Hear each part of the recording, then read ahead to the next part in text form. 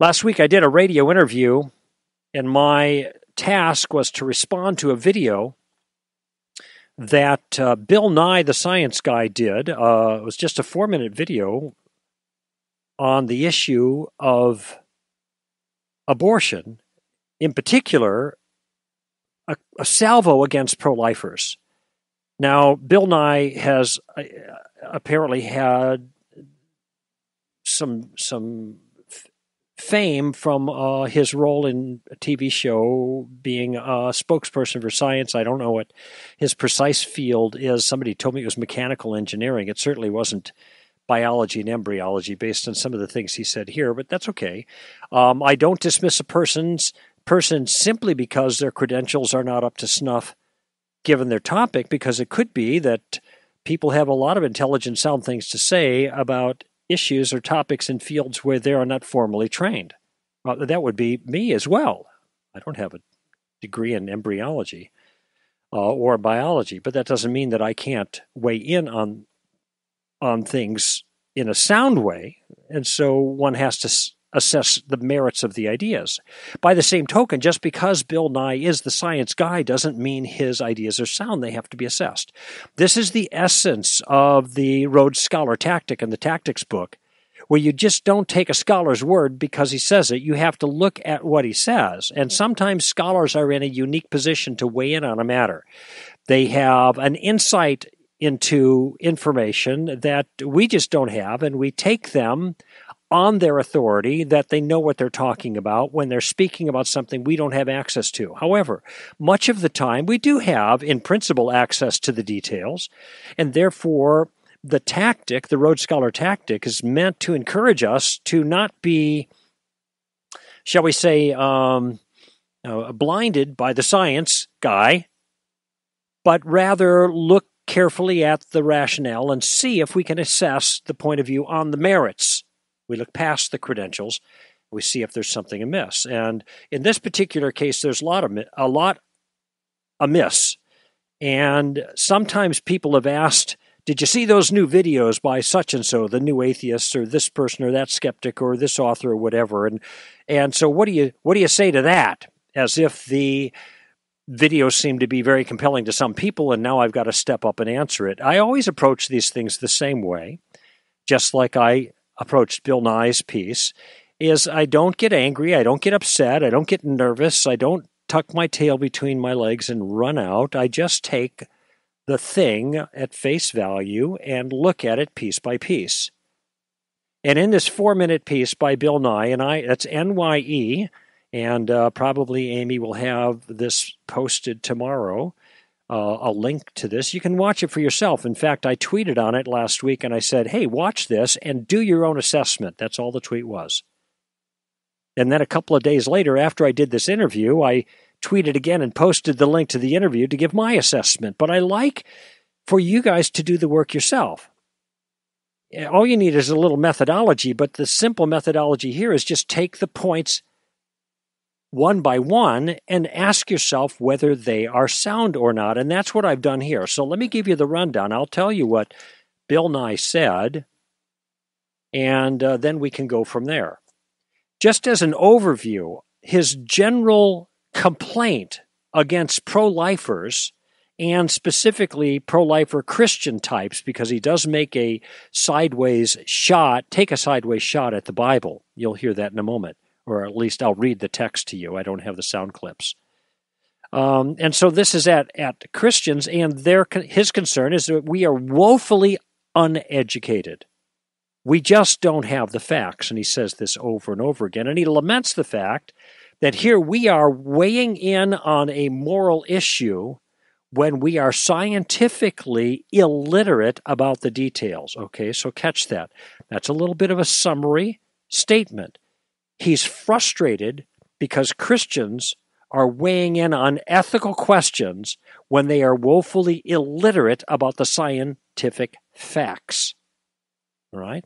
Now, so with that foundation, uh, let me read the first paragraph. And here's what uh, Bill Nye says Many, many, many, many more hundreds of eggs are fertilized than become humans. Eggs get fertilized, I'm, and by that I mean sperm get accepted by ova a lot. But that's not all you need. You have to attach to the uterine wall, the inside of a womb, a woman's womb. But if you're going to hold that as a standard, that is to say, if you're going to say when an egg is fertilized, it therefore has the same rights as an individual, then whom are you going to sue? Whom are you going to imprison? Every woman who's had a fertilized egg pass through her? Every guy whose sperm has fertilized an egg and then it didn't become a human? Have all of these people failed you? It's just a reflection of a deep scientific lack of understanding, and you literally or apparently literally don't know what you're talking about. Close quote. All right, so let me see. Uh, let's take a look and see what's going on there in the first complaint, which ends by saying you literally don't know what you're talking about. Now, he starts with a statement that is a factual statement that is hard to take exception with. Many, many, many, many more hundreds of eggs are fertilized than become humans. Well, actually, I have to pause there because you notice the distinction here? He says that there are eggs that are fertilized that don't become humans. Now, what he means is, I think, based on what he just says, following that, is that they don't attach to the uterine wall and they are flushed out. And so he asks the question then if you're going to call that a human being, then who are you going to sue? Who are you going to put in jail? Now, t- to be honest with you, I have no idea why he introduced that question into this discussion. Okay? Because it doesn't seem to pertain to anything significant that we're talking about. Um, his chief complaint is that pro lifers haven't got their science right, and then he says a fertilized egg is not a human being. Many more hundreds of eggs are fertilized than become humans. That was his point. So fertilized eggs are not human beings. Now, why why are they not human beings? He says because lots of them die in early stages of development. And secondly, they're not in the right location. You have to attach to the uterine wall, the inside of a womb, a woman's womb, is what he says. And the reason uh, we shouldn't take this approach is then who are you going to sue or punish for miscarriages? Okay, do you, do, do, you see co- coherence at all in this line of thinking? I actually don't, but what I do see is scientific inaccuracy for all of his concern that pro lifers don't have their science right. Um, he re- repeats the phrase fertilized egg a number of times. And yes, eggs do get fertilized, but when they're fertilized, they're not fertilized eggs.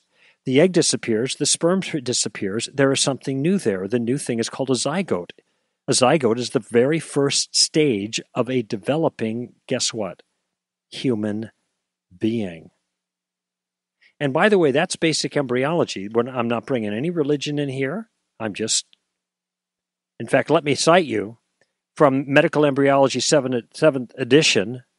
Uh, this is Sadler and Langman's medical embryology. Quote The development of a human begins with fertilization, a process by which the spermatozoon from the male and the oocyte from the female unite, sperm and egg, to give rise to a new organism, the zygote. By the way, what kind of organism do you think that would be?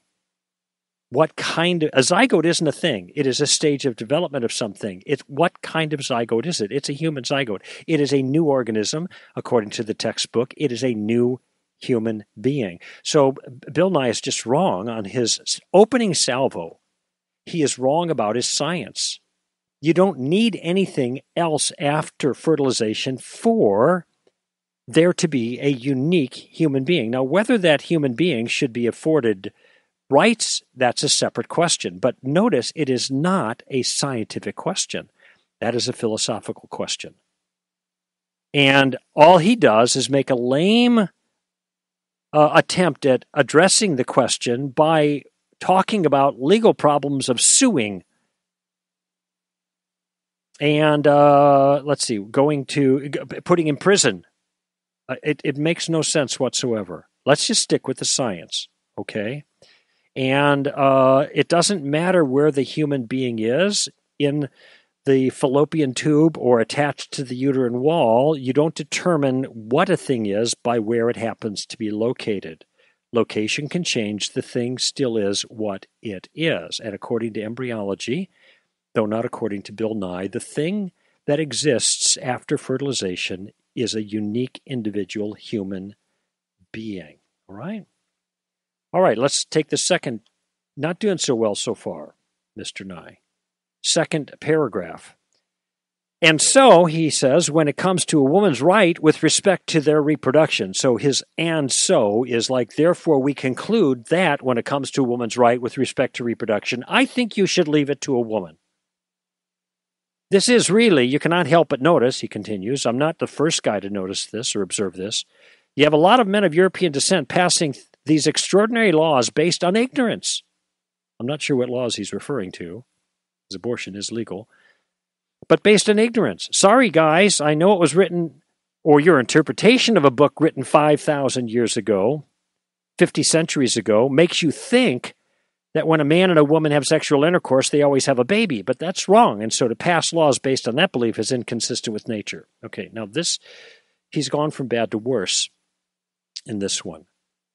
Uh, first, he says, well, for the reasons he gave, which are unclear as to being sound in the first paragraph, we should leave it up to a woman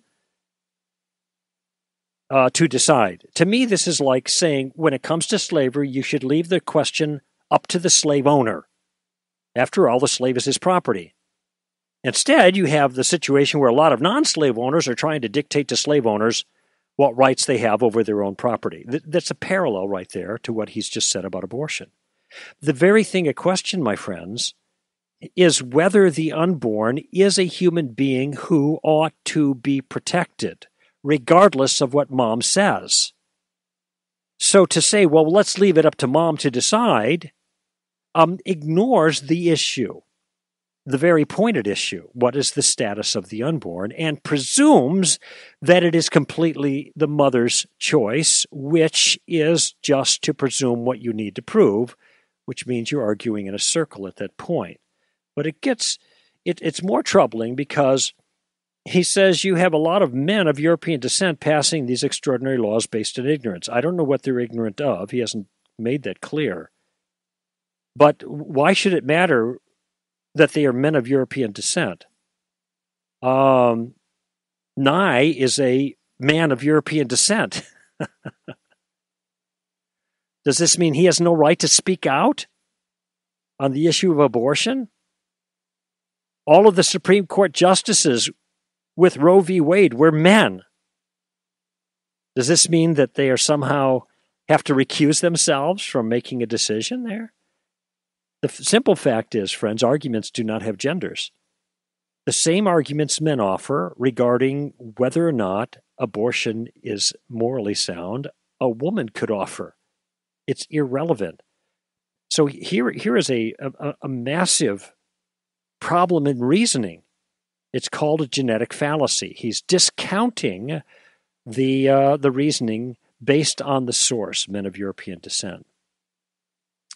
And then he fires this salvo. He suggests that the pro life view is based on an interpretation of a book written 5,000 years ago. Um, I guess we could, um, we can, uh, uh, 5,000 years ago? No, it's like 2,000 to 3,500 years ago. So, all right. Well, I'm not going to fuss too much about the time. He's got the dates wrong for the Bible. But I do not know anybody that argues against abortion based on the Bible. That's a straw man. We aren't arguing on the Bible. We are arguing from embryology and science and philosophy and morality. We are not arguing from the Bible. Um, and just because a book is old, of course, doesn't mean its ideas are false. That's another example of the genetic fallacy. Again, one must address the ideas proper and not dismiss them due to age Uh, I might note that science is gu- guided a lot by Aristotle's laws of logic, and those go back, at least his formulation, about 2,500 years. Age has nothing to do with it. Another faltering. All right, let's take the next, next paragraph. Notice what I'm doing here, friends. I'm just taking his statements one by one, or in groups his points, and I'm looking at each point and see if they seeing if they work. And then in, he says, I mean, it's hard not to get frustrated with this, everybody. And I know nobody likes abortion, okay, but you can't tell somebody what to do. All right, friends, I just want you to think about that last statement for a moment. But you can't tell somebody what to do. I mean, she has rights over this. Of course, that's the question. He didn't establish that. This would be, I guess, the fetus. Especially if she doesn't like the guy that got her pregnant. Why does she have greater rights over this if she doesn't like the guy who got her pregnant? I don't get it. She doesn't want anything to do with your genes. Get over it, especially if she were raped and all this. So it's very frustrating on the outside, on the other side. We have so many more important things to be dealing with. We have so many more problems to squander resources on this argument based on bad science or just lack of understanding. And so his, his final thoughts nobody likes abortion, okay? But you can't tell somebody what to do. Um, why is it that abortion is unlikable? I actually never heard anybody say, you know, nobody likes append- appendectomies. No, it's not a social issue, right? Um, of course, I don't think people would like to have have to have an appendectomy, but you, you see that this is different. There's something about abortion that seems to be morally questionable, which is why even a person like Bill Nye says, "Well, look at when nobody likes abortions." And he says, "We can't tell people what to do." Really, Bill, what is the purpose of your video? Are you telling us what to do in your video clip. Some of you might recognize the inherent suicidal tendencies of that statement. And uh, the implication that a woman can do whatever she wants with her own body is just plain false. She cannot, no one can in a civilized society. So the complaint itself is built on a false pre- premise. And we have so many more important things to be dealing with well, I guess that just depends on one's perspective. On 9 11, 2,977 people died. Well, that was a big deal. Here, what, 14 years later, we're still, we're still straining under the emotional impact of that loss. But do you know that's approximately the same number of children who lose their life every single day here in this country through abortion? What, hap- what would happen if we had planes crashing every single day for 40 years, the loss of roughly 3,000 per day, do you think he would say, you know, we have more important things to be dealing with? No, if this is the way pro lifers say it is, the way they argue it is, not from the Bible, but from science and philosophy and morality, well, then this is huge. And Bill Nye's hand waving dismissals don't change it one bit. For all of his concern about how we just don't get our facts right, bad science, lack of understanding, that was his last words there that I read to you. It is Bill Nye who hasn't gotten his science right and who is demonstrating, unfortunately, a deplorable lack of understanding of the of the the, the appropriate way to address this issue every one of his salvos completely misses the real target.